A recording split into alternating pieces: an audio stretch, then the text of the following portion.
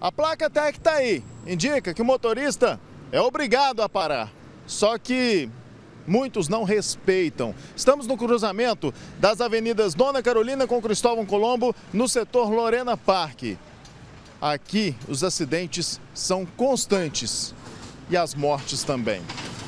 Nós fomos chamados por moradores e comerciantes aqui dessa região que já presenciaram inúmeros acidentes.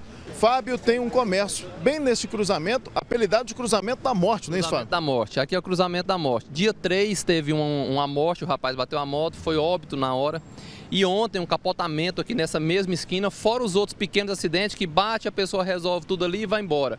E pessoas passando direto o tempo inteiro. E providência não é tomada, a pessoa vai morrendo, pessoas vão morrendo todo dia, danificando seus veículos e ninguém não faz nada. E agora a gente fica indagando quem pode, que são os engenheiros de trânsito, o que, que eles podem fazer por nós.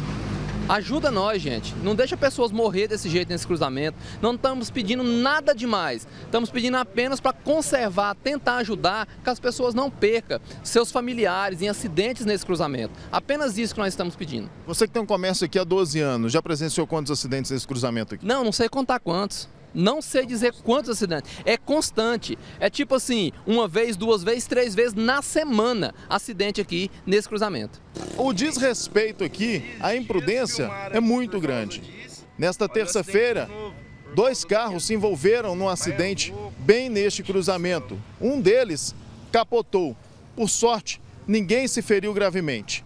No dia 3 de fevereiro, um motociclista não teve a mesma sorte.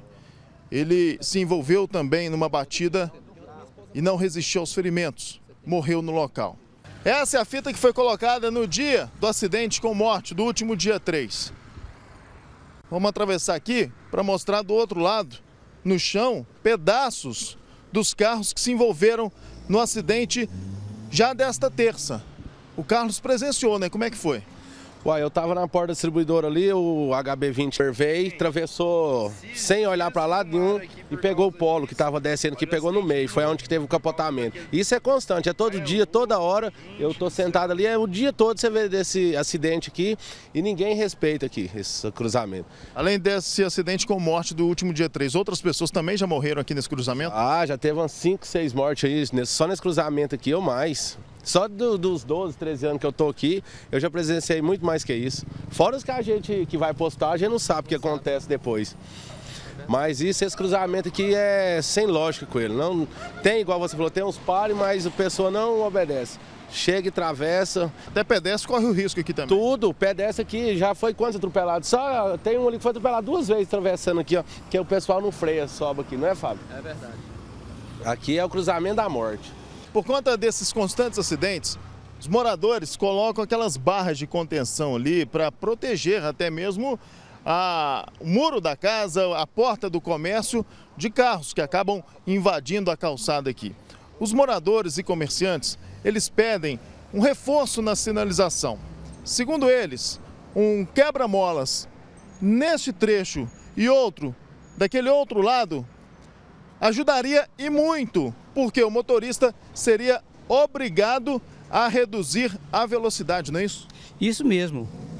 Um quebra-mola que é muito suficiente para nós, que, quebra a velocidade do, dos, dos, carros e, e não, não, acontece acidente. Né? Eu já presenciei esse acidente que o carro atravessou aqui, foi para lá no portão lá daquela, da, da pizzaria lá, sabe? Quer dizer, não precisa nem de um semáforo aqui, na sua opinião, né, Márcio? O quebra-molas já ia minimizar e muito esses transtornos aqui no cruzamento. Sim, não, é, o quebra-mola eu acho que seria sim uma medida barata e que resolveria, porque a pessoa ia ter que diminuir a velocidade. É uma reta muito grande. Então a pessoa vem, vai embalando, pegando a velocidade, achando que não, não, não precisa parar. E um quebra-mola já faria com que ele reduzisse a velocidade e chegasse bem mais devagar no cruzamento, daria tempo de parar.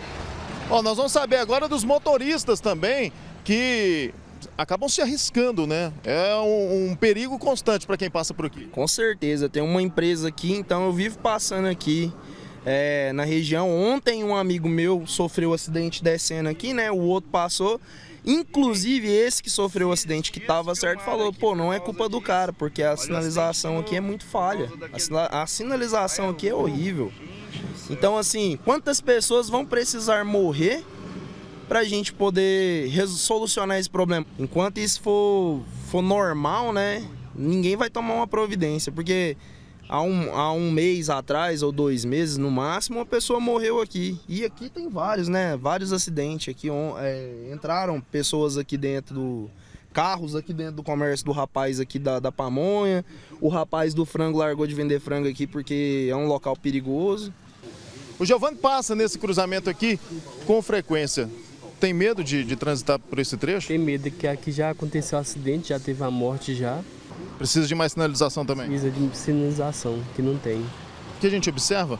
Que não tem nenhuma sinalização horizontal. Para quem segue por esta avenida, olha, não tem nada que indica aqui é, que se trata de um cruzamento perigoso, nenhuma sinalização pedindo mais atenção para os motoristas.